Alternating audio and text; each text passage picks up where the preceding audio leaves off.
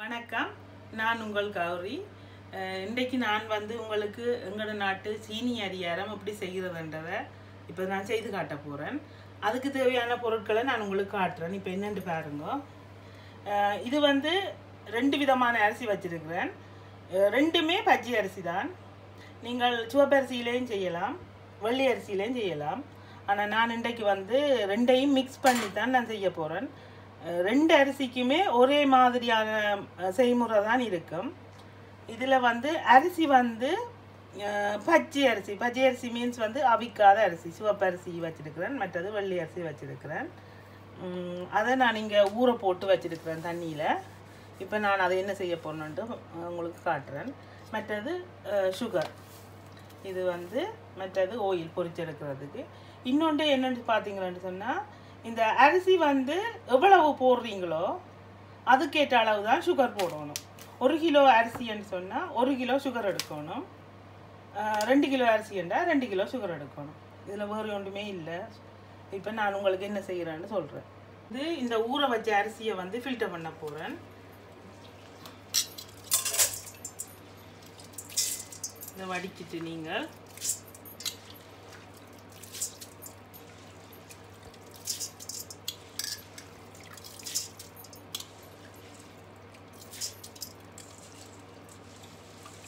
வடித்து ஒரு அஞ்சு நிமிஷம் தண்ணி வடிய விட்டுட்டு அதுக்கு பிறகு தான் நான் அரைக்க போகிறேன் தண்ணியோடய அரைக்கக்கூடாது. தண்ணியோடய அரைச்சா பவுடர் வராது.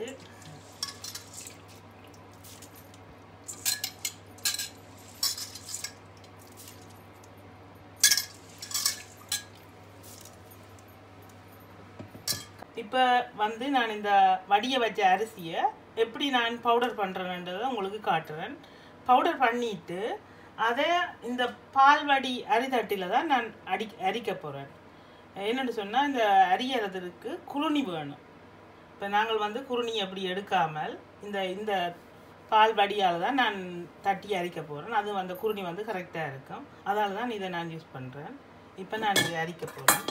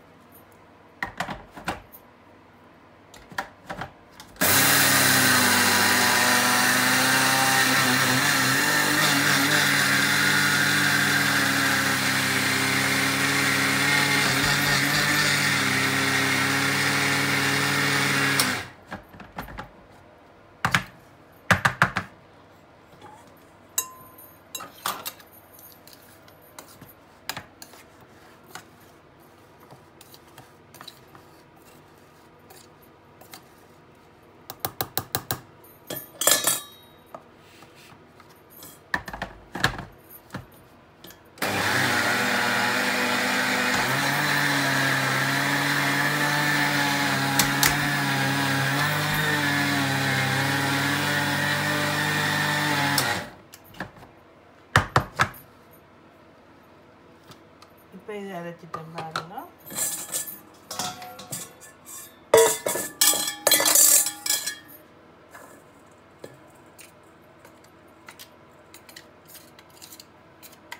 இந்த மாதிரி இந்த அரிசி முழுவதையும் நான் இப்படி அரைச்சு எடுக்க போகிறேன்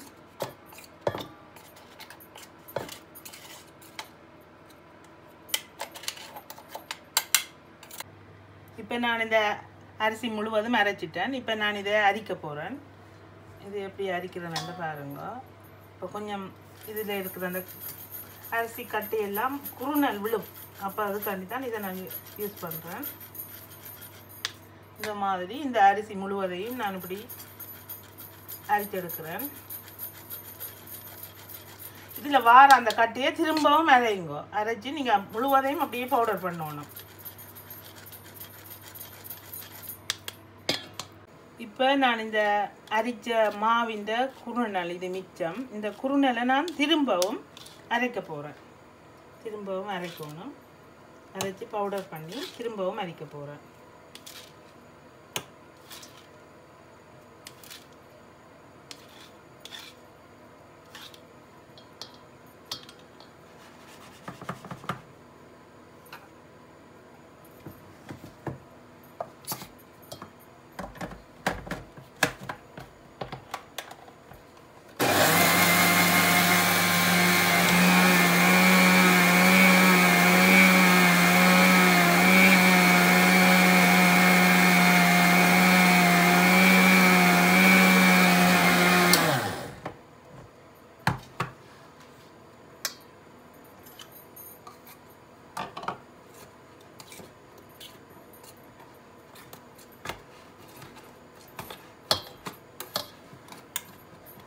இப்படி நீங்கள் கிண்டி விடணும். இல்லைன்னு சொன்னால் அந்த ஈர பசமையாக இருக்கிறதால அது கீழே போய் ஒட்டிக்கொள்ளும். அதால் நீங்கள் கிண்டி விட்டுட்டு திரும்பவும் ஒரு அரைச்சிங்கன்னா அரைப்பீங்க. இப்போ வந்து நான் வந்து சீனி பானி எப்படி செய்கிறதுன்றதை உங்களுக்கு சொல்ல போகிறேன் எப்படி செய்கிறேன்ட்டு பாருங்க.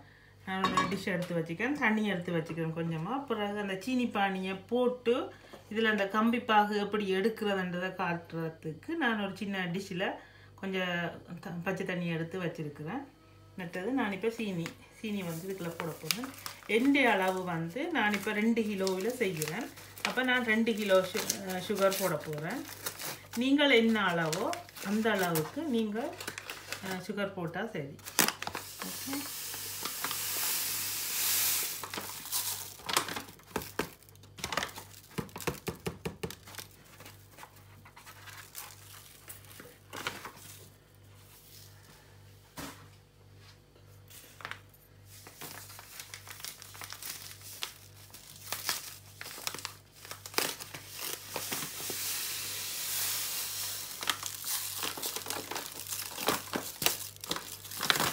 இதுக்கு தேவையான அளவு தண்ணி நான் எப்படி விடுறேன்னு பாருங்க.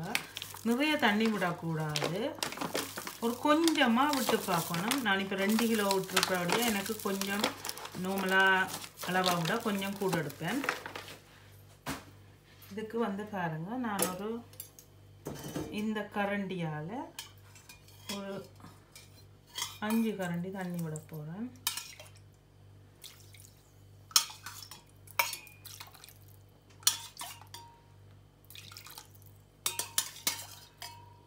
அஞ்சு இந்த பூவை மல்லி நினைக்கிறேன் இதுக்கு காணாட்டிக்கு அப்படி சீனி பானி திக்காக இருந்ததுன்னு சொன்னால் உங்களுக்கு தெரியும் அது எப்படி இருக்குதுன்னு. இங்கே இதை பார்த்தீங்கன்னா எனக்கு இது கரெக்டாக இருக்க போல் இருக்குது. காணும் தண்ணி.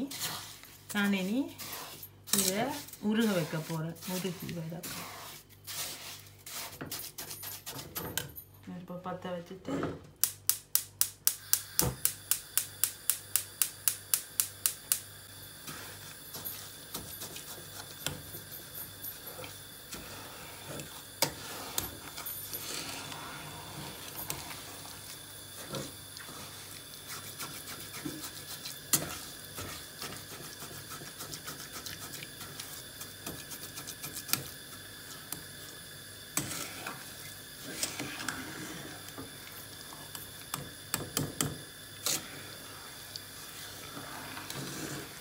ஸ்டார்டிங்குக்கு கொஞ்சம் நெருப்பு கூட வைக்கணும். பிறகு நீங்கள் குறைச்சி விடணும்.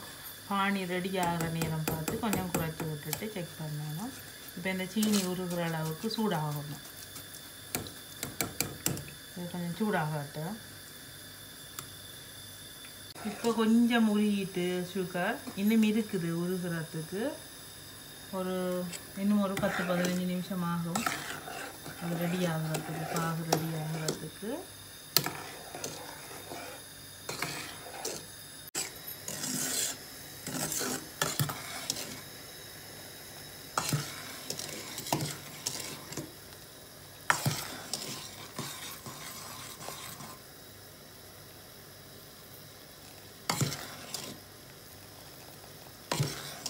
தண்ணிக்குள்ள போட்டு பார்த்தா தெரியும் இது எப்படி இருக்குதுன்னு சொல்லி. இப்போ என்ன ரெடி ஆகல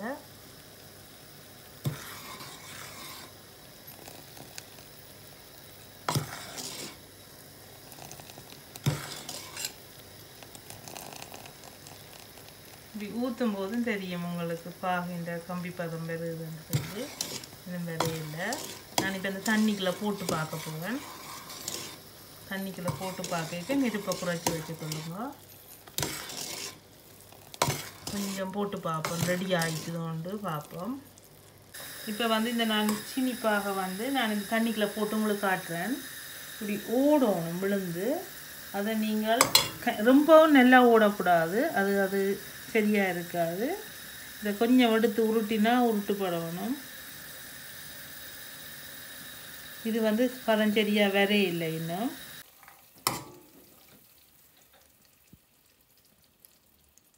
இப்போ இந்த பதம் சரியாக இருக்குதுன்னு நினைக்கிறேன். பார்க்க தெரியுது. இது இங்க பார்த்தீங்கன்னா தெரியும். கம்பி பதம் வந்திருக்குது. இந்த இழுவடு இது பாருங்கள் லைட்டாக ஓடும். அதை நீங்கள் எடுத்து உருட்டிட்டு இப்படி பார்த்தீங்கன்னா தெரியும். ஒரு கம்பி ரெண்டு கம்பி வரும். இப்படி. ஃபிங்கரோட ஃபிங்கர் முட்டும்போது உங்களுக்கு தெரியும் அது.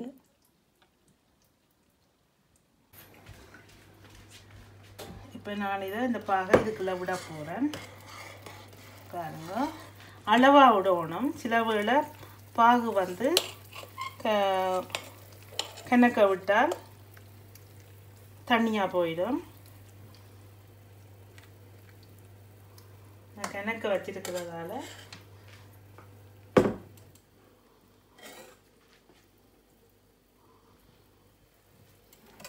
இது ரெண்டு கிலோ.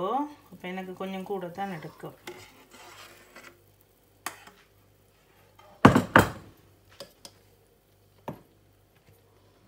இந்த இதுக்கு கரெக்டாக இருக்கும்னு நினைக்கிறேன்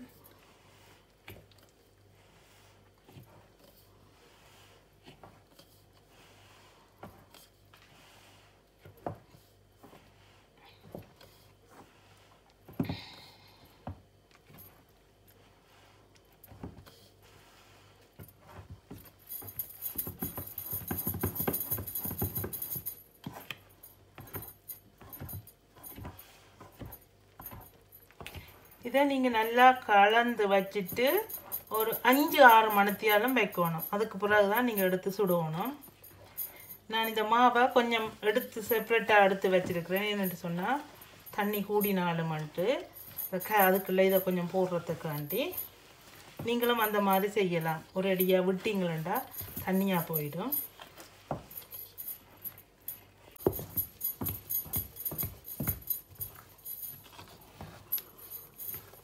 இந்த இது சரியாக இருக்குது. இதை நான் இப்படியே ஒரு ஆறு மணித்தியாலம் நான் அப்படியே வைக்க போகிறேன் மூடி வைக்க போகிறேன் ஏன்னு சொன்னால் அப்போ தான் நல்லா ஊறி வந்திருக்கும். அதுக்கப்புறம் நீங்கள் எடுத்து சுடலாம். நான் சுடைக்குள்ள அதை திரும்ப காட்டுறேன் உங்களுக்கு. நல்லா பிரட்டி வையுங்க.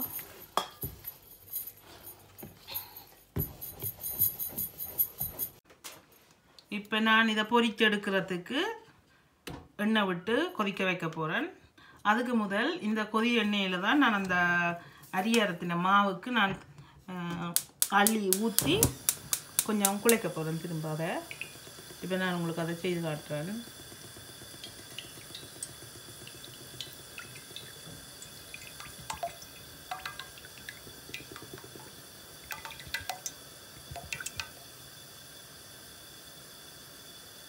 வேறையா பாத்திரத்தில் கொதிக்கணும் இல்லை. நீங்கள் பொறிச்செடுக்கிற இந்த சட்டி எண்ணெய் எடுத்து அதுக்கு விடலாம். அதுக்கு விட்டு நீங்கள் குழைக்கலாம். நல்லா பிரட்டணும். நல்ல எண்ணெய் விட்டு அது பிரட்டி எடுக்கணும் அந்த மாவை. அது நல்லா ஆறு மணித்தியால் ஊற வச்சு எடுத்துருக்கிறேன். நான் காலையில் போட்டு இப்போ பின்னேர் தான் அதை சுட போகிறேன் இப்போ நான் உங்களுக்கு செய்யக்குள்ள காட்டுறேன். எப்படியே இது எண்ணெய் கொதிக்கட்டும்.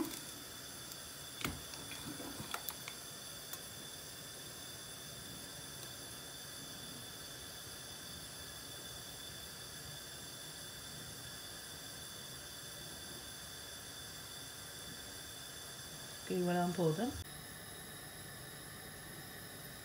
இப்படி இந்த பவுல் எல்லாம் விழுந்து நல்லா ஊறி நல்லா இருக்குது. இது ஆறு மணித்தியாலத்துக்கு பிறகு இப்படி இருக்குது இந்த மா. இதை நான் உங்களுக்கு எப்படி இதை பொறிக்க போகிறேன்றதை காட்டுறேன். இப்போ இந்த ஓயில் வந்து நல்லா கொதிச்சிட்டுது இதை நான் கொஞ்சம் அள்ளி விட்டு இந்த மாவில் பிரட்ட போகிறேன் கொஞ்சம் நெருப்பை குறைச்சிட்டு.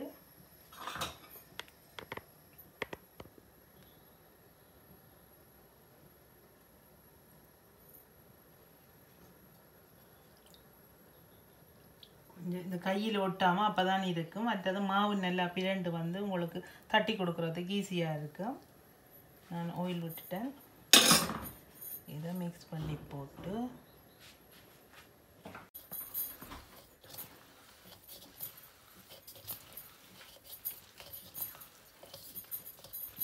ஆயிலை விட்டு நீங்கள் இப்படி நல்லா பிரட்டுங்க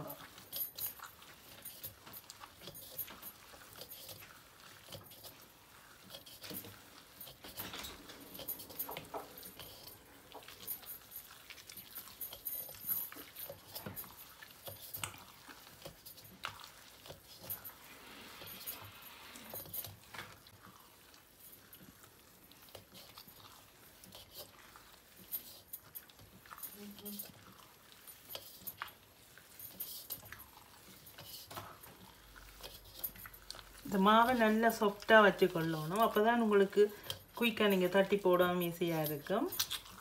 கையிலையும் ஒட்டாது. கடவுராண்டு செட்டு முடிச்சிடுவீங்க. நீங்கள் ட்ரை பண்ணி பாருங்கள் கண்டிப்பாக உங்களுக்கு நல்லா வரும்.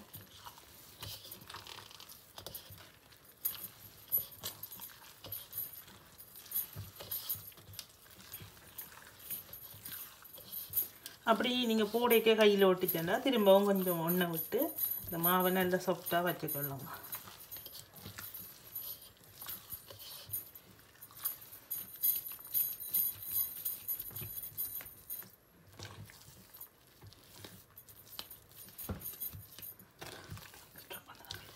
இப்போ நான் இப்போ வந்து போட்டு பார்க்க போகிறேன் எப்படி இருக்குதுன்றதை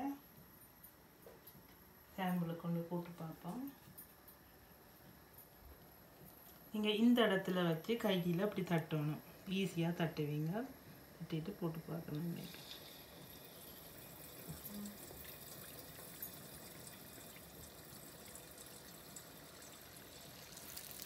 பொங்கி விதைக்குள்ள அப்படி இதுக்கு மேலே நீங்கள் எண்ணெயை ஊற்றினா செடியாக இருக்கும். பார்த்தீங்கன்னா தெரியும் நல்லா பொங்கி வந்திருக்குது.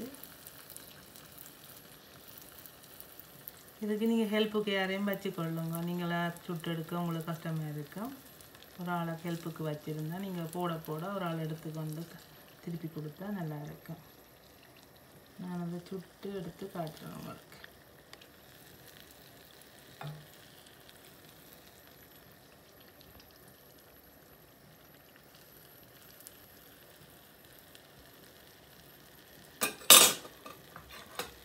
ஒரு ரெண்டு சாம்பிளை போட்டு காட்டு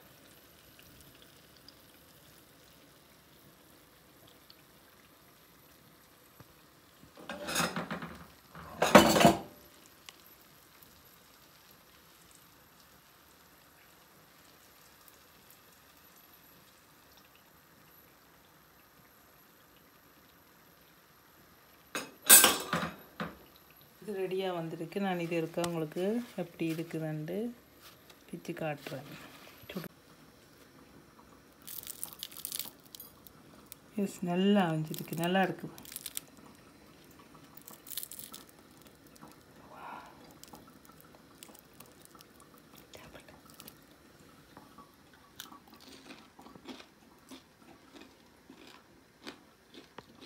நைஸ்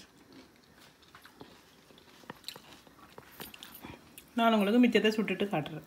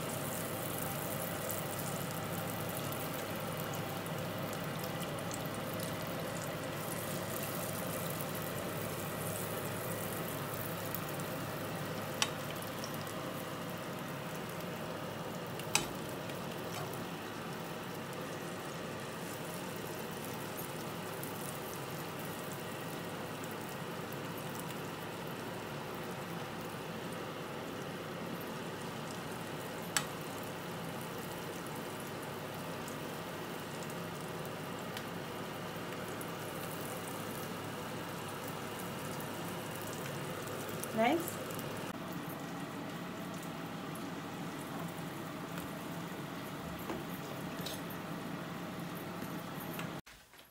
இப்போ பாருங்க நான் செய்து முடிச்சிட்டேன். நல்லா வந்திருக்குது இப்போ நான் உங்களுக்கு கொண்ட பிச்சு காட்ட போகிறேன் ஓகே.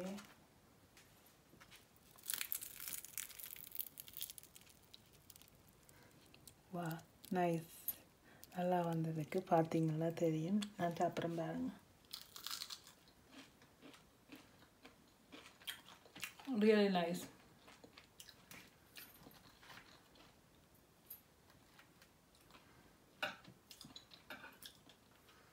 இந்த கலர் ஷைனி எல்லாம் நல்லா இருக்குது ஸ்வீட்டு கூட நல்லா தான் இருக்குது. நீங்களும் ட்ரை பண்ணி பாருங்கள் பிடிச்சிருந்தால் பிடிச்சிருந்தா லைக் பண்ணுங்கள் ஷேர் பண்ணுங்கள் அண்ட் சப்ஸ்கிரைப் செய்யுங்க. Thank you bye